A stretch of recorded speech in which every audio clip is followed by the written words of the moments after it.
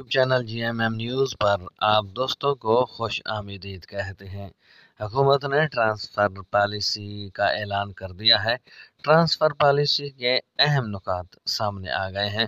اس transfer policy میں ملازمین کو اور بالخصوص اساتذہ کو کون کون سی سہولیات دی گئی ہیں؟ کیا اسٹوڈنٹ ٹیچر ریشو کا بھی خاتمہ کیا گیا ہے یا نہیں؟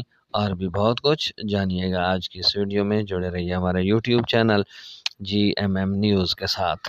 بسم اللہ الرحمن الرحیم وصلاۃ وسلم علی رسول الکریم۔ السلام علیکم۔ امید کرتے ہیں کہ آپ سب دوست خیریت سے ہوں گے، خوش و خرم ہوں گے اور بھرپور زندگی گزار رہے ہوں گے۔ تو آئیے چلتے ہیں خبر کی تفصیل کی جانب۔ خبر کی تفصیل کے مطابق ٹرانسفر پالیسی کے اہم نکات سامنے آ گئے۔ اس سلسلے میں وزیر تعلیم کا کہنا ہے کہ کسی بھی مزید تجاویز کا خیر مقدم کیا جائے گا اور ٹرانسفر پالیسی کے اہم نکات آپ کی قیمتی تجاویز کے بعد سامنے لائے گئے ہیں۔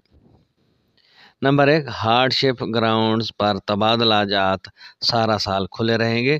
صرف انہی لوگوں کے تبادلہ جات کیے جائیں گے جو صرف حقیقی طور پر ہارڈ شپ گراؤنڈز کے معیار پر پورا اترتے ہوں گے۔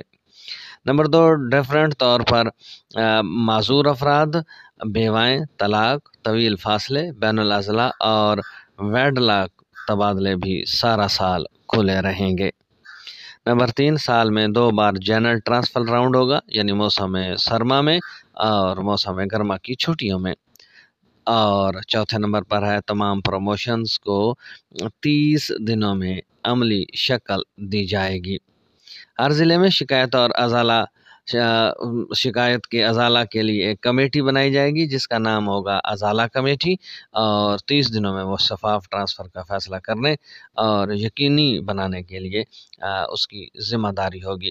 باہمی منتقلی یعنی میوچل ٹرانسفر کی اجازت بھی ہر سال دو بار موسم سرما اور موسم گرما میں دی جائے گی۔